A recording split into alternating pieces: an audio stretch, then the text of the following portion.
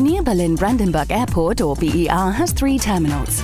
Two of the terminals, T1 and T2, are new and are located in the center of the airport between the takeoff and landing runways.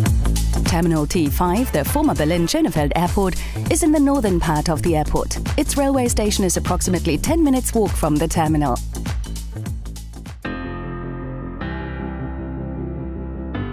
All terminals have good rail and public transport connections to the city and surrounding areas.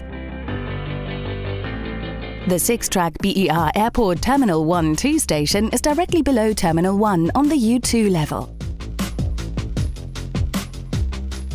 The following connections are available from and to Berlin city centre.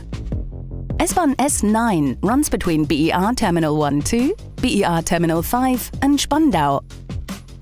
Via Ostbahnhof, Alexanderplatz, Friedrichstraße, Hauptbahnhof and Zoologischer Garten so it can also be used to travel between the two terminals.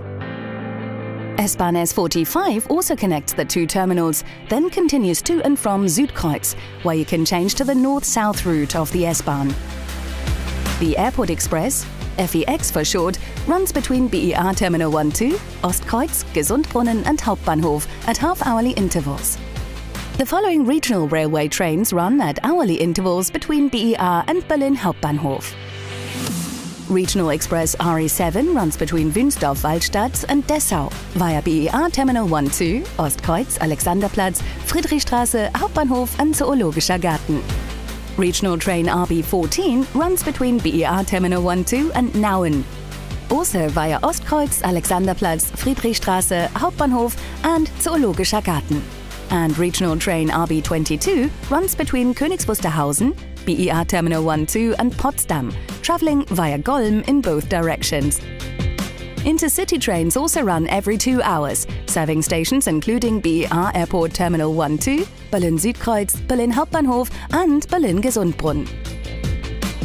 The BVG and other transport operators also provide various bus and night bus services. If you'd like more information, go to vbb.de.